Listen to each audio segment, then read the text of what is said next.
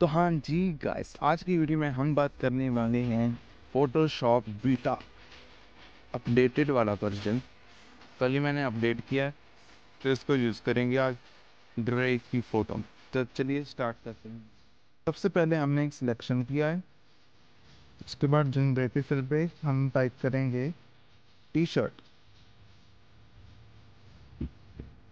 और फिर जनरेट की क्लिक करेंगे।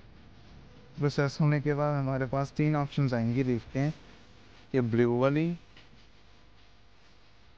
एक ये एक ये। मुझे फ़र्स्ट वाले और थर्ड वाले दोनों अच्छी लगी हैं तो उसे सेव कर लेंगे। अब फिर से एक ट्रेन आते हैं।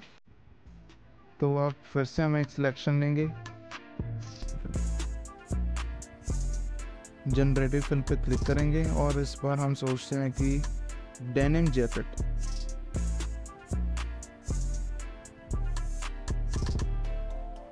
फिर जनरेट पे क्लिक करेंगे, फिर हमारे पास तीन आएँगे।